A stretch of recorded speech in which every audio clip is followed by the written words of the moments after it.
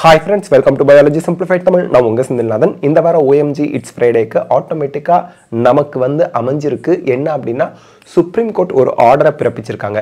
அந்த ஆர்டரில் அவங்க என்ன சொல்லியிருக்காங்கன்னா NTA should upload city wise centre wise students NEET score on their official website exams dot NTA dot AC dot in slash NEET இந்த வெப்சைட்டில் அவங்க NEET UG twenty twenty four எழுதின ஸ்டூடெண்ட்ஸோட ஸ்கோரை city wise centre wise exam centre சென்டர்னா இப்போ நீங்கள் ஒரு காலேஜ்லேயோ அல்லது ஒரு ஸ்கூல்லையோ போய் எக்ஸாம் எழுதிருப்பீங்களே அந்த சென்டர் நேமை மென்ஷன் பண்ணி அந்த சென்டரில் எத்தனை ஸ்டூடெண்ட்ஸ் எக்ஸாம் எழுதினாங்க சிட்டி அந்த சென்டர் நேமு அந்த சென்டரில் எத்தனை ஸ்டூடெண்ட்ஸ் எழுதினாங்க அவங்களோட ஸ்கோர் என்ன அப்படிங்கிறத நாளைக்கு சனிக்கிழமை மதியானம் பன்னெண்டு மணிக்குள்ளே அவங்களோட அஃபிஷியல் வெப்சைட்டில் அப்லோட் பண்ணணும் அப்படின்னு சொல்லி சுப்ரீம் கோர்ட் ஜட்ஜ் வந்து உத்தரவு போட்டிருக்காங்க.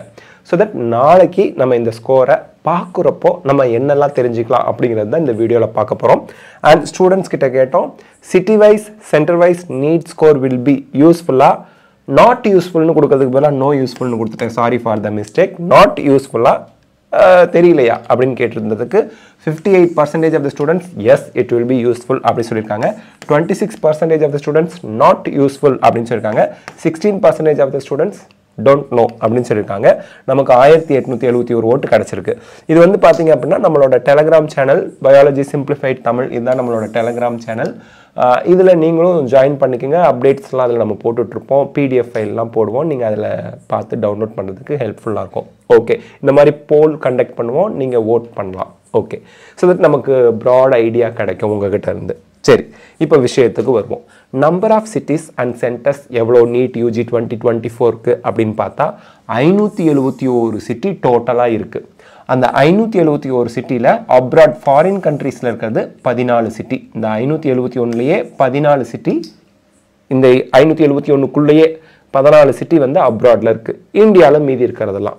ஓகே இப்போது மொத்த சென்டர்ஸ் எவ்வளோ? நாலாயிரத்தி எழுநூற்றி ஐம்பது சென்டர் இந்த ஒவ்வொரு சென்டர் வைஸ் அவங்க சிட்டியில் எத்தனை சென்டர் இருக்குது இப்போ ஒரு சிட்டி சென்னைன்னு இருக்குன்னா அங்கே பதினஞ்சு சென்டர்ஸ் இருந்திருக்கலாம். எக்ஸாம் சென்டர்ஸ் ஏழு இருந்திருக்கலாம். ஒரு சில சிட்டியில் ஒரே ஒரு சென்டர் இருக்கலாம். ரெண்டு சென்டர் இருக்கலாம்.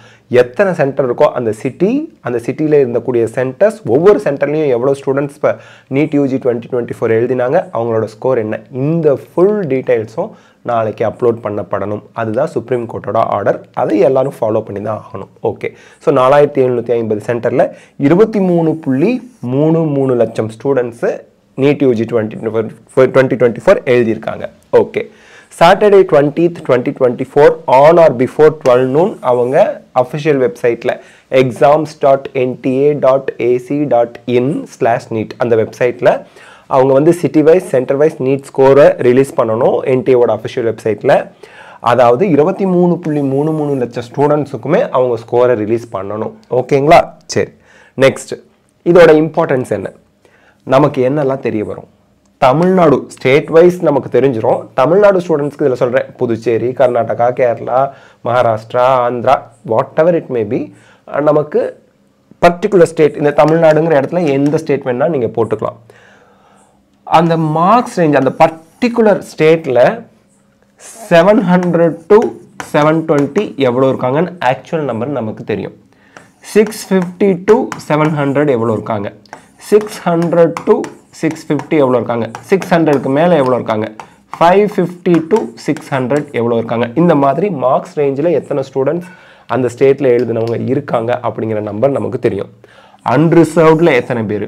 ஓபிசி நான் கிரீமி லேயரில் எத்தனை பேர்? எக்கனாமிக்கலி வீக்கர் செக்ஷனில் எத்தனை பேர்? எஸ்சி ஸ்டூடெண்ட்ஸ் எத்தனை பேர்? எஸ்டி ஸ்டூடெண்ட்ஸ் எத்தனை பேருன்னு தெரியுமா? அப்படிங்கிறது மட்டும் நம்ம வெயிட் பண்ணி பார்க்கணும். இது தெரியுங்கிறது இங்கே கேள்விக்குறி தான் we will know the marks range of Tamil Nadu or any other state wise நம்ம மார்க்ஸ் ரேஞ்ச் தெரிஞ்சுக்கலாம். பட் அந்த ஸ்டூடெண்ட்ஸ் வந்து எந்த கம்யூனிட்டியில் வராங்க அப்படிங்கிறத மென்ஷன் பண்ணுவாங்களாங்கிறது நமக்கு தெரியாது. ஏன்னா சுப்ரீம் கோர்ட்டில் ரெண்டு விஷயம் தான் சொல்லியிருக்காங்க. ஒன்று சிட்டி வைஸ் ரெண்டாவது சென்டர் வைஸ் ஸ்டூடெண்ட்ஸோட ஸ்கோர்ஸை ரிலீஸ் பண்ணுங்கன்னு சொல்லியிருக்காங்க. என்டிஏ அந்த லிஸ்ட்டில் கம்யூனிட்டியை மென்ஷன் பண்ணலைன்னா நமக்கு இந்த டீட்டெயில் தெரியாது. மென்ஷன் பண்ணாங்கன்னா தெரியும். மென்ஷன் பண்ணுவாங்களா மாட்டாங்களா? அது நாளைக்கு மத்தியானம் தான் நமக்கு தெரிய வரும். அன்ரிசர்வ்ல இருக்கவங்க ஓசி ஸ்டூடெண்ட்ஸ் மட்டும்தான் இருப்பாங்களா? இல்லை. தமிழ்நாடு ஸ்டேட் கோட்டாவை பொறுத்த வரைக்கும் அவங்க வந்து ஓபிசி நான் கிரீமி லேயரில் வராட்டி கூட பிசி ஸ்டூடெண்ட்ஸ் எம்பிசி ஸ்டூடெண்ட்ஸ்லாம் இருப்பாங்க.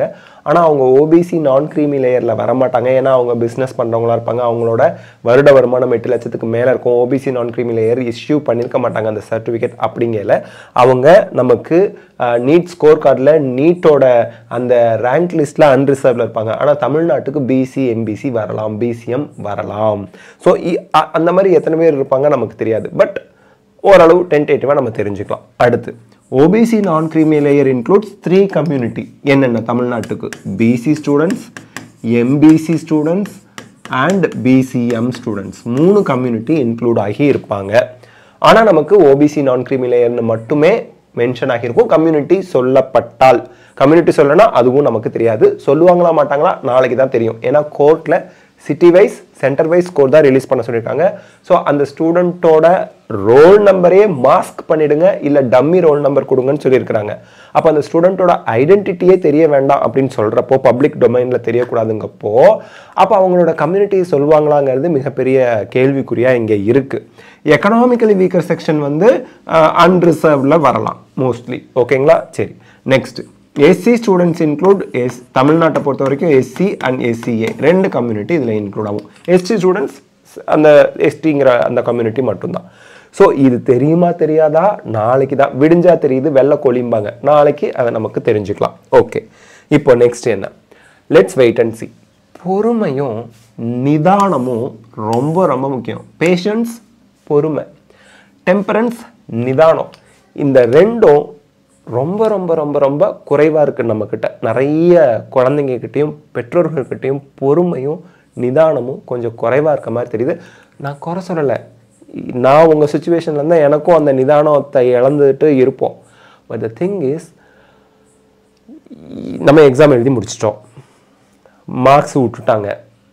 இனிமேல் அடுத்தடுத்து என்ன நடக்க போகிறதுங்கிறது நம்ம கையில் இல்லை.